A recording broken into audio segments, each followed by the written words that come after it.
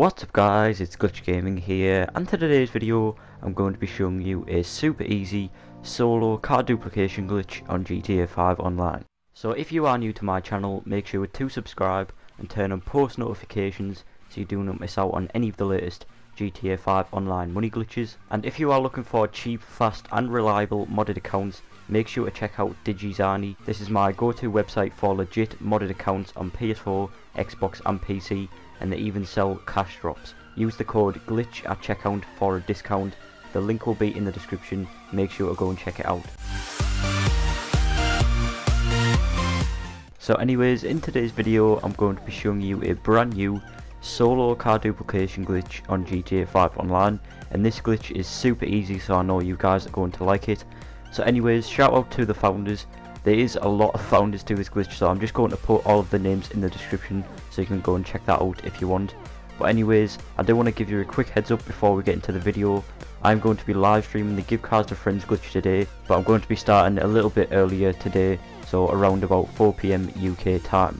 So anyways, getting into the video, what you will need to start off with is a facility, and in that facility you will need it to be full, so it doesn't matter what cars are in there, but you do need at least one Elegy RH8 or a Faggio because that's what we're going to be replacing over.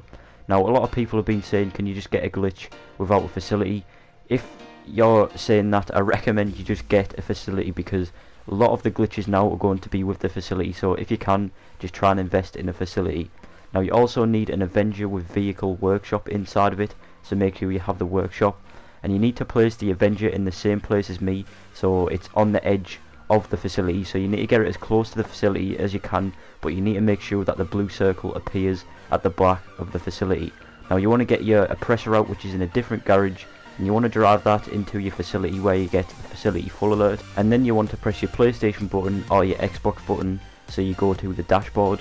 Once you go to the dashboard you want to come back to the game and when you come back the facility full alert will have disappeared all you want to do is drive at the same pace as I do over to the blue circle and as soon as you see the option to go into your Avenger in the top left corner you want to press right on the D-pad and just wait a couple of seconds before you press right on the D-pad.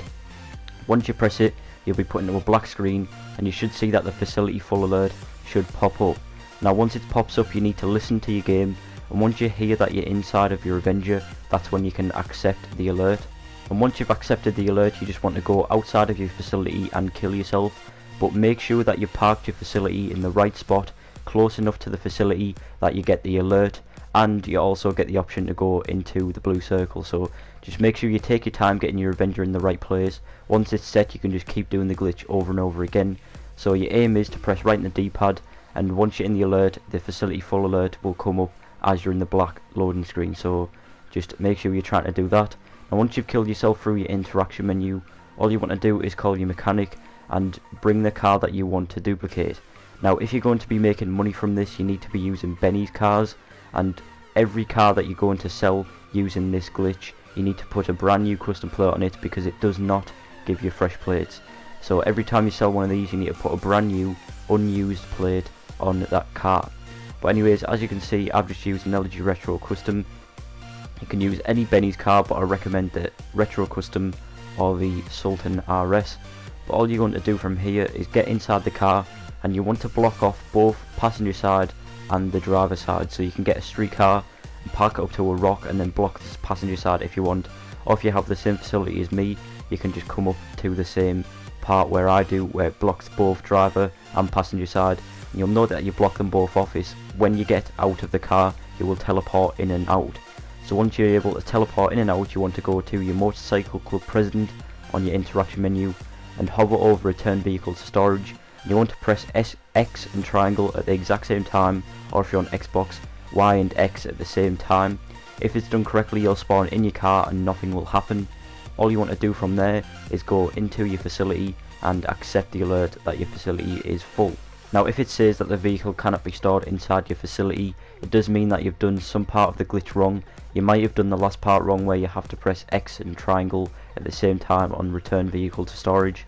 So just try again if that happens, but it will eventually work. But once you get into your facility, you just want to replace it for your Elegy RH8 or Faggio.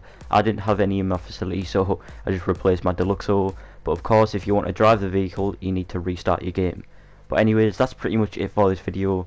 If you did like this video, leave a like, subscribe, and until next time, see you.